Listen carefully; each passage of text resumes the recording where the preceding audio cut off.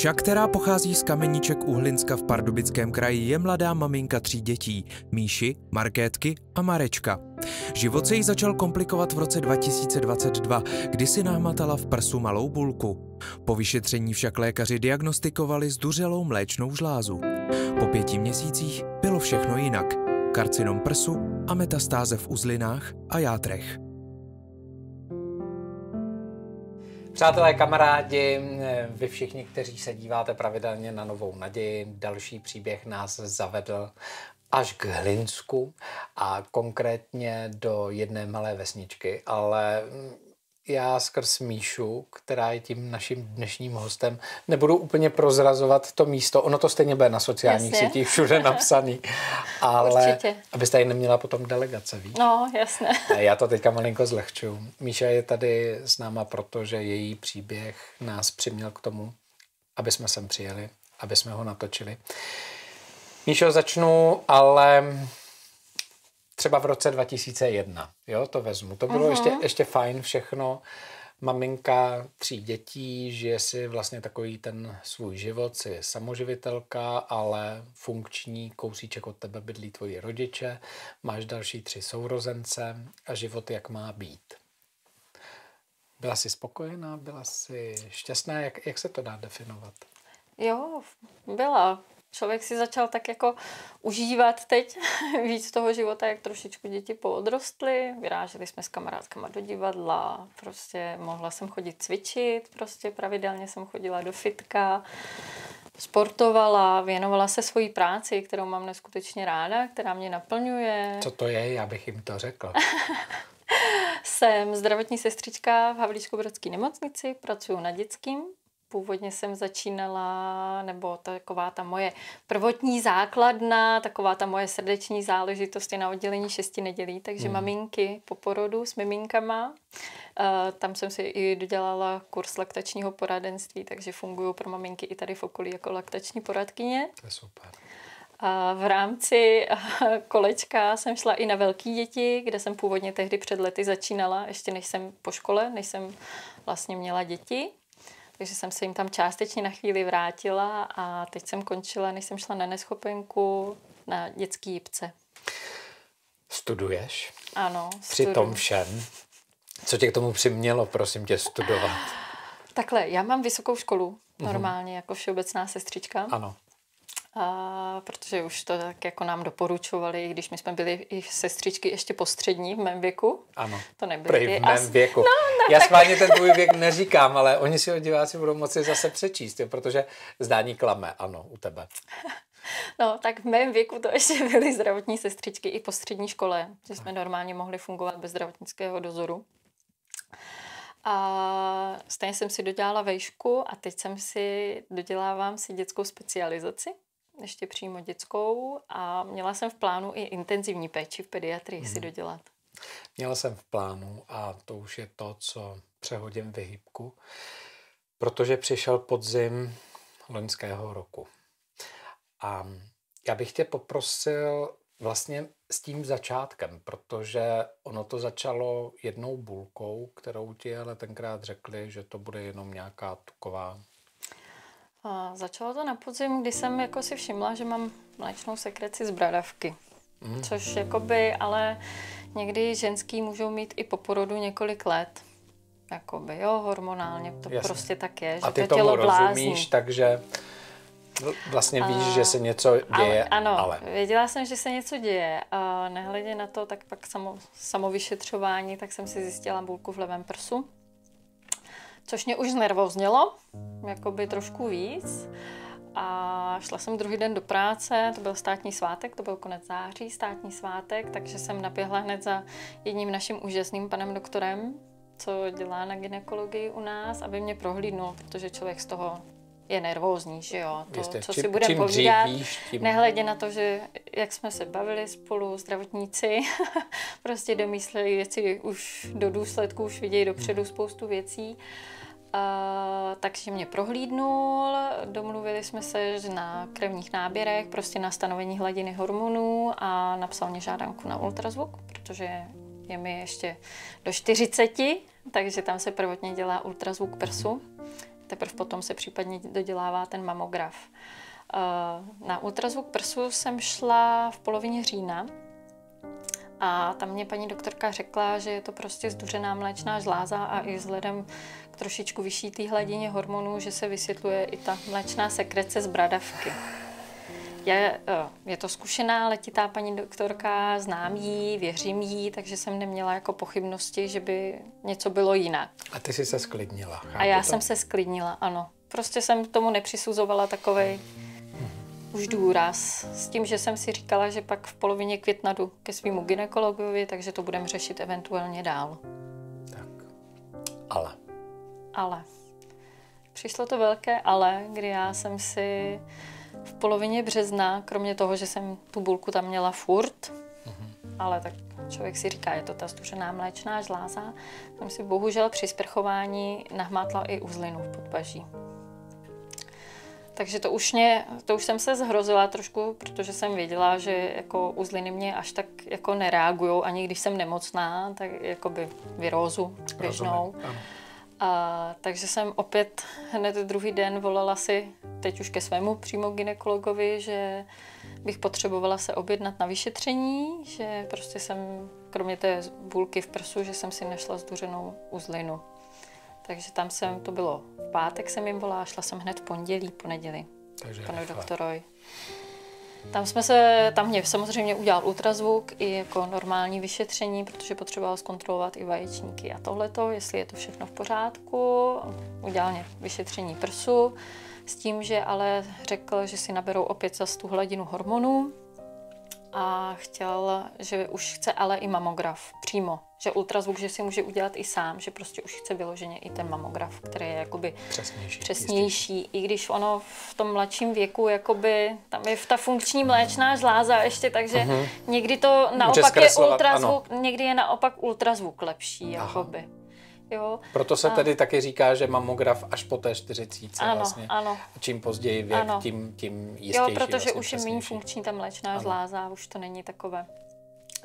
Takže jsem od pana doktora hned naběhla opět k té paní doktorce, u které jsem byla na podzim, protože mají ordinace kousek od sebe. Objednala jsem se tam, což bylo přesně za týden, pondělí. Uh, tam jsem dorazila, opět ultrazvuk nejdřív, říkám, pan doktor chtěl přímo mamograf a ona, no já vím, ale stejně nejdřív začneme ultrazvukem. Yes.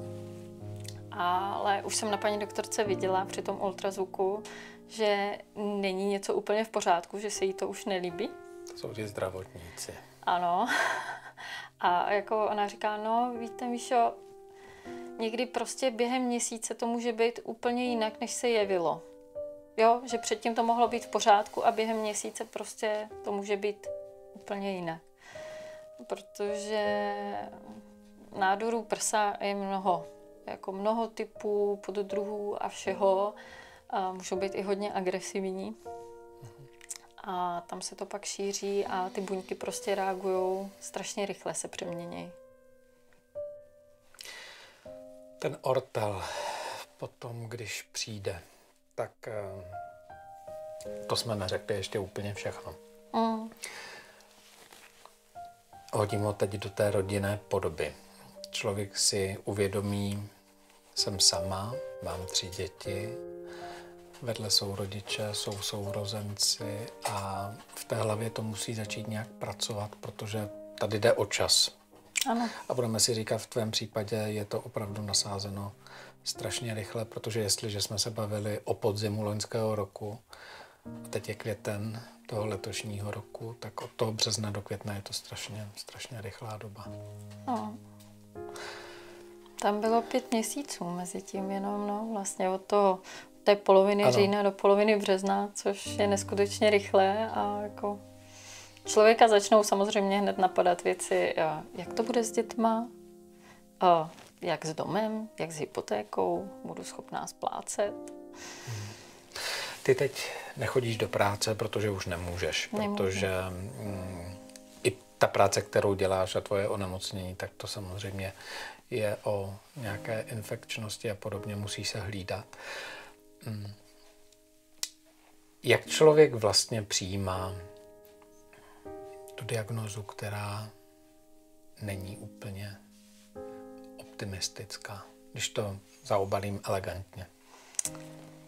No, jelikož jsem ten zdravotník, tak já jsem tak nějak jako věděla, co, co mě čeká, když jsem si tuhle diagnozu vyslechla. Jo? Věděla jsem, co to obnáší všechno. A pro mě spíš bylo asi horší jakoby uh, sdělit to té rodině. Mamince, jakoby, tátovi, sourozencům. Mm, mm, protože jsem věděla, že oni to přijmou určitě hůř než já. Uh, jelikož říkám, já jak prostě jsem v tom zdravotnictví, tak vím, jak dokáže ten život být strašně křehký. Jak mm. prostě se během minutky může všechno strašně změnit, úplně otočit z hůru nohama. Jo, takže já tak nějak sama jsem se s tím jakoby vyrovnala celkem. Samozřejmě jsem si pobrečela, co si budem říkat. Jasně. to e, taky, ale... Čeho je víc? Těch dnů, kdy ti není dobře, nebo těch dnů, kdy je člověk eh, na sesypání? Promiň, že se ptám takhle. Uh, já, jelikož jsem takový dost pozitivní člověk, normálně, já prostě třeba i ty negativní, jakoby nežádoucí účinky, i ty chemoterapie, prostě. já to prostě beru, že to k tomu tak patří. Ano, je mi špatně, třeba prostě mám nějaký zažívací potíže Jo, prostě Jasně. různý problémy, boláky, všechno možný, jo, pálení v krku, všechno, ale já to beru, že to k tomu prostě patří. Chci se vyléčit, chci se léčit, tak prostě tohle beru tak jako... Přišla jsem o vlasy, ale to je úplně minimum, jo, říkám, Šátek to je prostě... Jo, děkuju. Paruka ještě nedorazila. Máme jednu kamarádku, u které jsme točili, která říkala, že se strašně těšila na paruku a teď nakonec nosí raději čepice. Ano, oni to říkají, že radši nosí že prostě šátky, prostě čepice. Říká, ono mě to pořád svědí, kouše.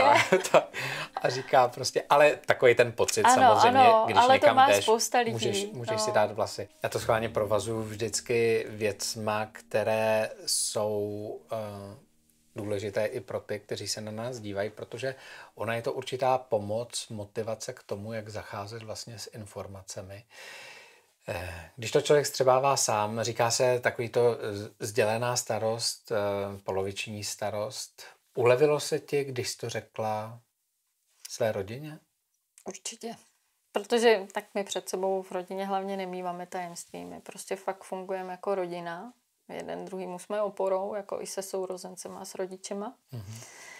A, takže samozřejmě se mi ulevilo, protože předtím, když jsem to před nima tajila, jako ty různé vyšetření, měla jsem se na něco vymluvit a takový, tak to pro mě nebylo lehký. Člověk ale, si to hlavně musí pamatovat, co řekl. Ano, ale nechtěla jsem to právě našim sdělovat jakoby dopředu a aby na to byli sami. Rozumím. Takový ty věci, o kterých jsme mluvili, právě paruky, vlasy a podobně. Eh, v době, kdy jsi jim to sdělovala, to bylo 1. dubna. Ano. 1. dubna. Eh, to na tobě ještě nic nepoznali? Nebo, nebo... Ne, ne. Fakt ne. Protože já jsem tu léčbu vlastně začínala až potom. Jasně. Jakoby. Jo, já jsem první chemoterapii dostala Míše. v půli dubna. Rozumím, až. rozumím. Když vezmu Míšo, návrat k té diagnoze. Eh, rakovina pr- prsu, mm, karcinom a pak, když se člověk dozví, že metastázy bohužel jsou rozprostřeny tak, že zasáhnou játra. To je to, co je ta vlastně blbá diagnoza. Jinými slovy, s karcinomem prsu bychom si poradili, s játrama už si tak poradit neumíme. Ano. Baví se mezi sebou zdravotnický personál otevřeněji, než kdyby si byla normální pacient, nebo jsi zvídavější jako, jako zdravotnický pacient? Však se to teda říká, už jsme to říkali. Ano, jako, že, zdravotníci že... jsou nejhorší pacienti. Ano. Uh, musím říct, že já teda našemu zdravotnictví věřím. Jako dostatečně, dost. Uh, paní doktorce, jako jsem se odevzdala tak jako, že prostě jí důvěřu, to, co mě nastolí, jakou léčbu, to prostě absolvuju, mhm. abych prostě proto udělala maximum, abych se uzdravila. Jakoby. Zpomalit, Zpomalila. zastavit Tak, ano. pomalit, zastavit a mezi tím se stanou zázraky. Ano, přesně tak, jak já to říkám. Mezi tím na tu potvůrku něco vymyslí a, a dokážou mě uzdravit úplně. Ono se říká, že nemoc je taky z části, z velké části psychickou záležitostí a když člověk myslí pozitivně, tak eh, některé věci se zdolají lépe, snadněji. Nechci říct vyléčí, ale zdolají se lépe. Přesto všechno ty to máš stížený o tři děti, relativně malé děti. 14, 11, 5? Říkám to dobře. Jak komunikuje maminka s dětmi? když ví, že je nemocná a když ví, že v dnešní době se toho zase až tak moc neutají. A teďka dáme eh, s dovolením bokem to pětileté, protože to bude vědět, že maminka je nemocná. Tam, to, tam to končí. Ale ty starší nebo nejstarší? Já s dětma funguju tím stylem, jako fungovali rodiče s náma. My jsme k sobě upřímní a bavíme se o všem tak nějak otevřeně. A, takže začala jsem samozřejmě nejstarším synem s Míšou, 14. A, tomu jsem sdělila, prostě jsme si popovídali, my máme prostě opravdu otevřený vztah s tím, že jsem nemocná, vážně nemocná a jeho samozřejmě, že se budu muset léčit, že mě vypadají vlasy, že se na to budu muset připravit. A on mi říká, mami, ty máš rakovinu. A já, ano, mám, říkám, ale udělám všechno pro to, abych se prostě uzdravila, abych tady s váma mohla prostě bejt. Tak jsme se objali On si tak. pak vzal krabičku kapesníků a šel si zalíst, aby to vstřebal. Rozumím. Každý si musí vyrovnat s tím. Ano, s tím. přesně tak. Dál. No. Pak s dcerou tam jsem začala s tím, že prostě jsem nemocná nejdřív, jakoby, že teda opět ty vlasy, tohleto. Mami, ty máš rakovinu? Říkám, Marketko, necháme to tak, jsem nemocná. Jo, jo, jo, tak si taky pobrečela, samozřejmě, tak objímání, že jo. Říkám, budete mě muset víc pomáhat doma budete se muset víc snažit ve škole no, a tak. brambory, a ano, ano. smetí, s pejskem poklízet. a tak. Zase to schválně umyslně zlehčuju, ano, ale, ale... Ne, je to tak. Člověk musí. Ale taky jsem jí pak říkala, že se jedná ano o rakovinu, protože hmm. se to probírá, jako v dnešní době to není žádné tabu. Člověk se nemá za co stydět. Jakoby, když to tak řeknu. Určitě. Navíc já k tomu řeknu ještě tu věc, která je zásadní zase řeknu, mobily, sociální sítě, ano. Um, rychlá informovanost. Řekněme si, že než přijede člověk od lékařů domů, tak to ví celá vesnice. A to teďka jo. nadsazuju úplně umyslně, protože pak se zedne lavina lidí, kteří ti chtějí pomáhat, vyjde to v místním plátku, jedna sbírka, druhá sbírka, akce pro tebe na podporu. Dneska tady sedíme my a mobilizujeme už vlastně celou republiku, potažmo Slovensko. Je to věc, která by měla být vlastně samozřejmá, protože mi se líbí, že lidi si mezi sebou pomáhají. A jestli ti to má trošku usnadnit život, Zaplať pámku za to. Co je pro tebe nejtěžší teď? Teď nejtěžší uh, absolvuju tu léčbu, to jako, to tak, to jsem jim říkala, to tak nějak člověk ty nežádoucí účinky bere prostě a tak. Uh, důležitý pro mě jsou ty, ta rodina, jakoby uh, že se člověk tady snaží kvůli ním bejt, všechno zvládat, fungovat prostě dál, tak jako se snažím fungovat tak, jak jsme fungovali, prostě jezdit s dětmi na ty zápasy fotbalový, s dcerou na soutěže. Uh, někdy to vyžaduje dost síly, teda, protože jsem unavená víc, to. určitě, ale... Možná je výhodou, že máš dvě starší děti, které ano, už opravdu dokážou pomáhat. Ano, přesně I s tím, tak. I s tím mladším. Určitě. Míšo, mm, nebyla by to nová naděje, kdybych eh, věci nenazýval pravými jmény. Mm, já se občas zeptám i na strach, na obavu, protože budeme věřit v zázraky. Zázraky se dějí, dít se mohou. Přesto všechno někde v pozadí ehm, člověk přemýšlí nad tím, co bude kdyby. Ehm, S tím vším ti pomáhají sourozenci, eh, rodiče, teď myslím i takový ty běžný administrativní věci, aby bylo všechno pro tebe v pořádku, v klidu, aby si nemusela myslet třeba i na tou hypotékou a tak dál, protože i to je součást vlastně té pomoci. Hodně přátel i okolo, kromě rodiny a mých nejbližších. Mm-hmm. Tak mám spoustu úžasných lidí kolem sebe, který jsem si na ty, za ty roky naschromáždila. A jsem za ně neskutečně moc vděčná, takže ty mi hodně pomáhají. Já to jenom říkám z toho důvodu, že teď už se dívám do tváří těch, kteří se dívají na tvůj příběh.